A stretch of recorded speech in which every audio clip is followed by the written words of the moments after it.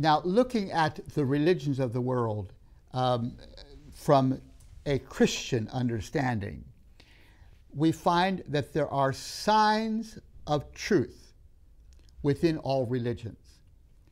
The Christian believes that the gospel meta narrative is true. That's why, that's why a person is a Christian, that they believe this narrative, this story of God so loving the world that he sends Jesus, his son, into the world uh, that we may be redeemed. That is at the core of the Christian meta narrative. Um, Christians believe that. But they believe that within the world religions, everywhere, there are signs pointing towards that universal truth, um, preparing people to consider the gospel. Uh, we, we, uh, we call these signs of truth.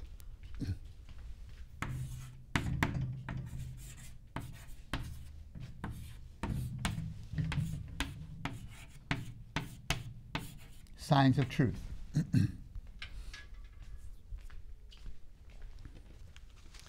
uh, for example,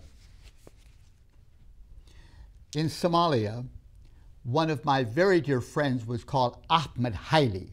Ahmed Haile. And this Ahmed became a Christian when he was 17 years old. He lived in central Somalia. And I asked him, Why did you become a Christian? Well, he said, in the mosque, in the mosque, when I was a little boy of seven years old, memorizing the Quran, the Imam, the leader of the mosque, used to say that the Taurat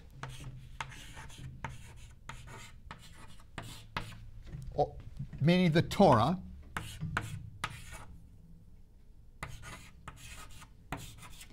the Taurat, meaning the Torah of the prophet Moses, is revealed scripture.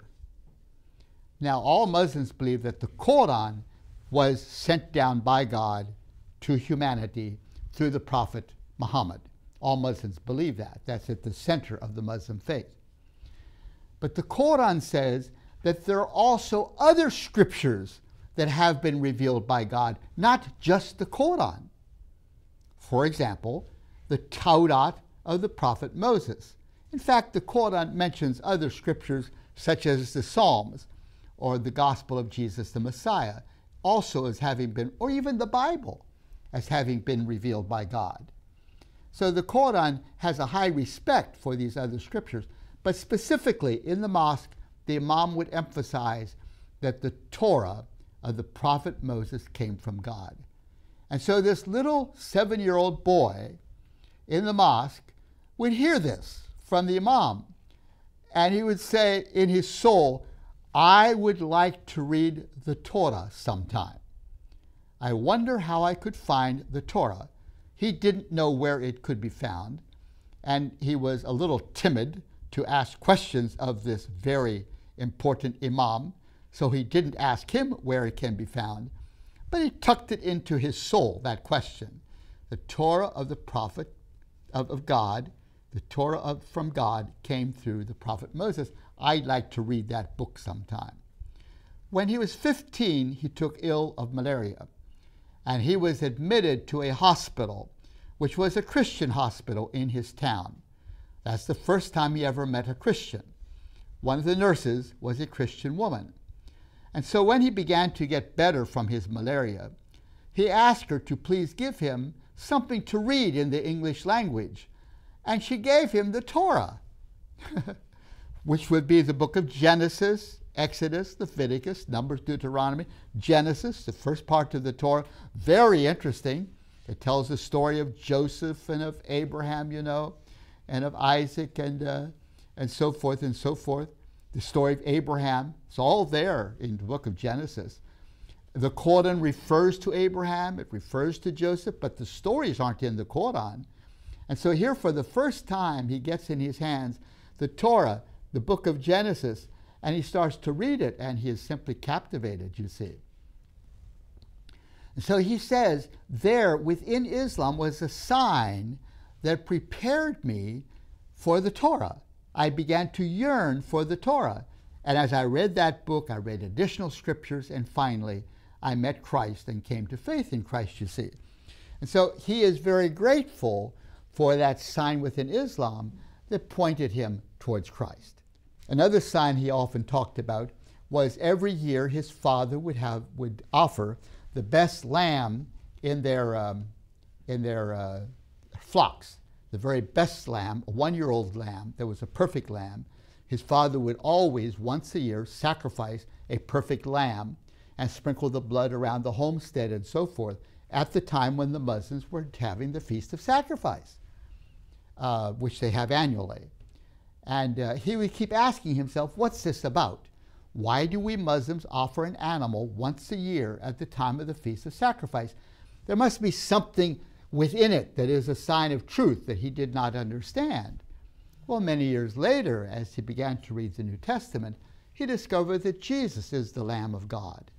And he said, Oh, those sacrifices in Islam that we participate in, that we participate in every year must be a sign pointing forward to Jesus, who is the Lamb of God.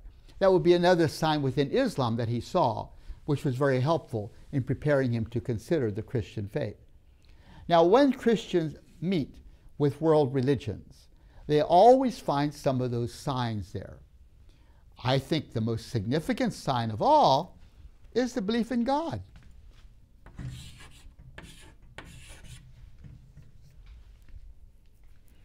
When my father and mother went to serve among the Zanaki people, they asked them, Do you know about God the Creator? And they said, Yes, yes, we know that there is God who is the creator of the heavens and the earth. But he went on a journey and he will never come back again. So we don't know much about him. Okay?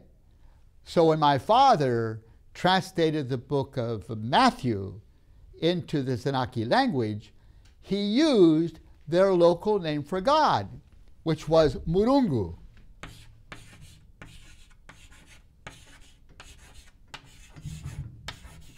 Murungu, the name for God among the Zanaki. He didn't import a foreign name like God into their culture. No. He used a local name uh, for God. Uh, and so when they received the Gospel of Matthew into their own language, they read the very first pages of the Gospel of Matthew and they discover that Jesus is Emmanuel, God with us. They said, Oh, the Murungu who went on a journey has come back in Jesus. He's walking among us in Jesus, you see. And so the sign was already in the culture, pointing the people towards the God of the Bible. They didn't know much about God. They just knew he was the creator. Whether he was good or bad, they didn't have a clue. But they knew there was a creator. And when they met Jesus, they met the creator having returned and walked among us who they thought had gone on a journey and would never return again. So, in all cultures, you find that. Bible translators, when they go into different languages, like the 3,000 languages that have portions of the Bible in them now, they always look for a local name for God. And almost always, they find a local name for God. Uh, that being a sign preparing people to believe in God. Now, not always, not always. They don't always find a local name for God, particularly in Buddhism. That's a pr problem because within Buddhism, Buddha did not, uh, like we said the other day, Buddha did not believe in a God. He was an agnostic, you see. And so Buddhism is bereft of an understanding of a creator God. It's not there within Buddhism. And so that becomes a challenge. And so sometimes the church has to import a new name for God from outside the culture, particularly in Buddhist societies. That can happen sometimes. But that's unusual. Almost always they find a local name for God. One thing they do within Buddhist cultures, the Bible translators, is to go into the language of the people before Buddhism came. Okay, if Buddhism doesn't have a name for God, before Buddhism came, did the local Thai culture have some awareness, for example, have some awareness of a God who created? And so, oftentimes, in the language before Buddhism came, they will find a local name for God. And so then they use that name in the Bible translation work. So, all of these we refer to as signs preparing people for the gospel. These signs are not the gospel, they're signs, and they point in the right direction. Um, and it's important for people to follow the sign to find the truth. Uh, some people simply get stuck on the sign and they say, well, this is wonderful that we believe. Uh, many of my Muslim friends will say, it's wonderful that we believe uh, that the Torah came from God. Christians also believe the Torah came from God. It's just simply wonderful. We all believe in these scriptures. We are agreed about that, that the Psalms came from God, that the gospel came from God. And so we're all together in that. A more important question is do we read these scriptures, you know, or do we simply say the sign is enough? We believe in them, and so we stop there. No, it's important to follow the sign to where it is pointing, like this Ahmed did, who said, Not only do I believe in the Torah, but I will also explore what the Torah has to say so that I may discover the truth that is in the Torah. I don't just look at it on my shelf saying a wonderful book. I actually explore what it has to say. So, in all religions, wherever we go, we find that there are signs of truth pointing in directions which are helpful. It's not the fullness of the truth, but signs of the truth are found there. While we continue being a benevolent project, your kind donations will continue to be vital in fulfilling the calling of TVS ministry. We do count on your gracious support and cooperation. For detailed information, please visit tvsseminary.com.